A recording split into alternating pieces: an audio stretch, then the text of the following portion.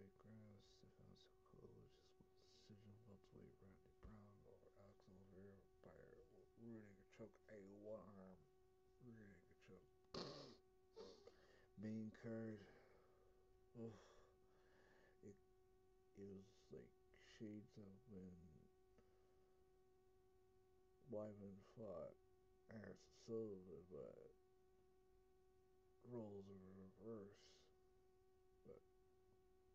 Anthony Smith defeated Jimmy Crute by Dr. Savage, but Dr.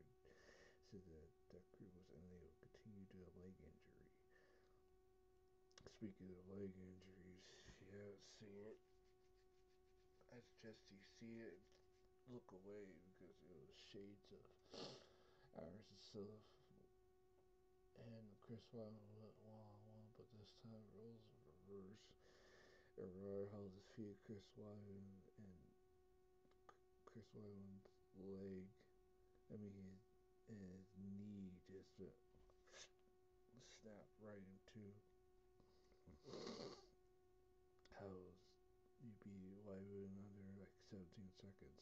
Just seeing it, I was just like, I just harkened back to when when Weidman fought, uh, when there's when uh, Weidman fought Silva. And still, UFC Women's Flyweight Champion Valentina Shevchenko. We had new women's strawweight champion Rose Namajunas or Zhang Wei Li by head kick.